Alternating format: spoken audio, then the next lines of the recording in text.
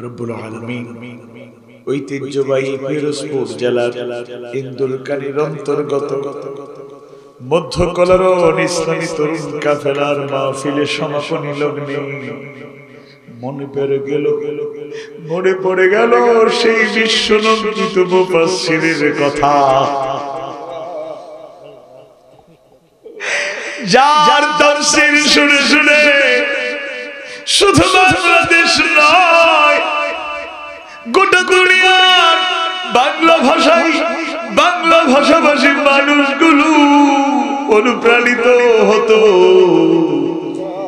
কোটি কোটি তৌহিদ প্রিয় মানুষের প্রাণের স্পন্দনে যিনি পরিণত হয়েছে লক্ষ লক্ষ মানুষ হেদায়েতের আলোয় আলোকিত হয়েছে। হাজারো মুসলিমরা যার কাছে শাহাদা পাঠ করে, যার কাছে বাদ মধ্য হেদায়েতের আলো কচ্ছটায় উদ্ভাসিত হয়ে গেলে রব্বুল আলামিন বিশ্বনন্দিত মুফাসসির কোরআন আন্তর্জাতিক খ্যাতি সম্পন্ন আলেম দ্বীন আমাদের প্রাণের আল্লামা দেলোয়ার হোসেন সাইদি সাহেবকে তুমি সুস্থতার নিয়ামত দান করো। হেফাজত রাখো আল্লাহ।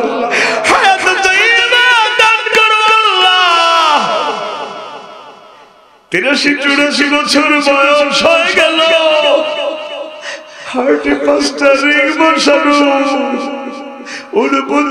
বছর থেকে ডায়াবেটিসের রোগী। পারিবারিক সূত্রে আল্লাহর বান্দা এখন একা একা হাঁটাহাঁটি করতে সমস্যা হয়, অসুবিধা হয়, কষ্ট হয়। উঠতে, বসতে, মাঝে মাঝে কষ্ট হয়, আল্লাহ। তোমার জ্বালাই চূড়ান্ত আল্লাহ। বিশ্বনন্দিত জীবনের শেষ দুটো ইচ্ছে। একটা বারের জন্য তিনি বাইতুল্লাহ হাজির হয়ে লাব্বাইক, আল্লাহুম্মা লাব্বাইক বলতে চান। দ্বিতীয় স্বপ্ন ইচ্ছে পরিকল্পনা নিয়ে একটা বারের জন্য কোরআনের ময়দানে তিনি ফিরতে চান। রব্বুল আলামিন, তুমি চাইলে দুনিয়ার কেউ আটকাতে পারবে না। কোরআনের পাখিটারে তুমি কোরআনের ময়দানে একটা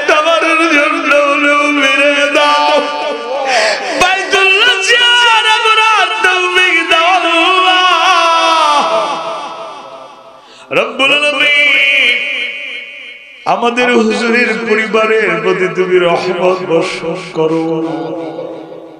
রব্বুল আত্মীয় স্বজনদের সবরে জামিল দান করো।